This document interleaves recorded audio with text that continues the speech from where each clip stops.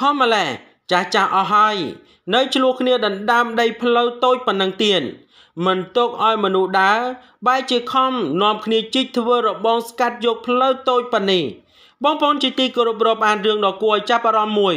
ប្រជាពលរដ្ឋមួយក្រុមបាននាំគ្នាជីកស្កាត់ផ្លូវជាពិសេសស្របពេលដែលផ្លូវប្រើប្រាស់ប្រចាំថ្ងៃរៀងរាល់ថ្ងៃបែរជាចុងក្រោយបែរជានាំគ្នាជីកយកផ្លូវទៅវិញ នៅក្នុងសកម្មភាពមួយនេះបានបង្កឲ្យមានការរិះគន់យ៉ាងចាស់ដៃនៅលើបណ្ដាញទំនាក់ទំនងសង្គមហើយសុទ្ធតែជាមនុស្សចាស់មិនមែនជាមនុស្សក្មេងឯណា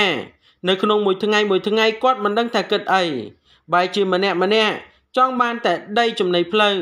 ចង់បានតែដីផ្លូវដីជារបស់រដ្ឋដែលប្រជាជនប្រើទូទៅនោះ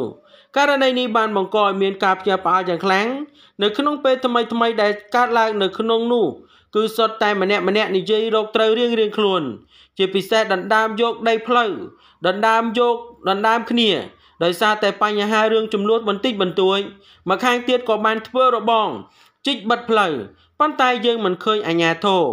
រឬក៏ភូមិឃុំណាមួយឬក៏អ្នកណាម្នាក់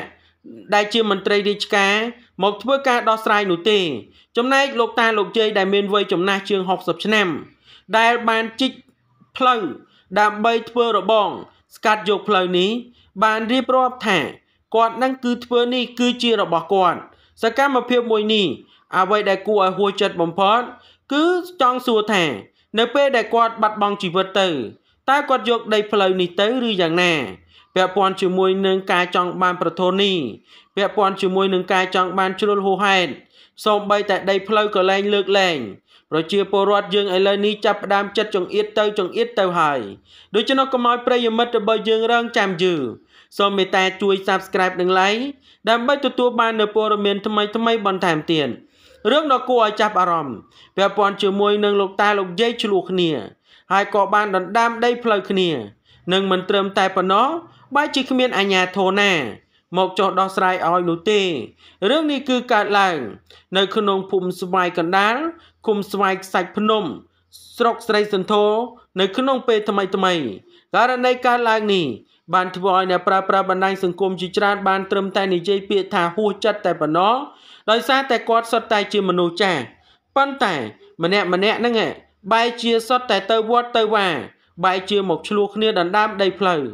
តើនៅពេលដែលគាត់បាត់បង់ជីវិតទៅ គាត់ហ្នឹងយកផ្លូវនេះឬក៏យកដីនេះទៅតាមឬក៏អី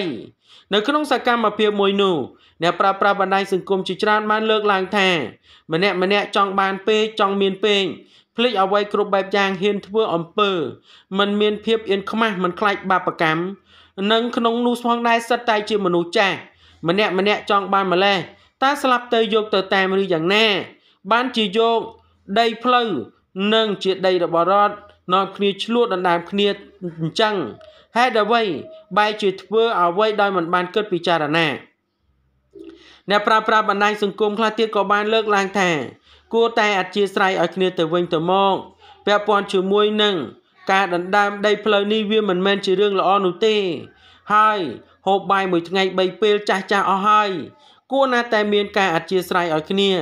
បែរជាឆ្លោះបាត់ផ្លូវទៅវិញយ៉ាងណាក៏ដោយ អ្នកប្រើប្រាស់បណ្ដាញសង្គមបានលើកឡើងផ្សេងផ្សេងគ្នាទាំងហួសចិត្តដូចជានៅព័ត៌មាននេះមានប៉ុណ្ណឹងដើម្បីទទួលបាននូវព័ត៌មានថ្មីៗបន្ថែមទៀតសូម Subscribe និង Like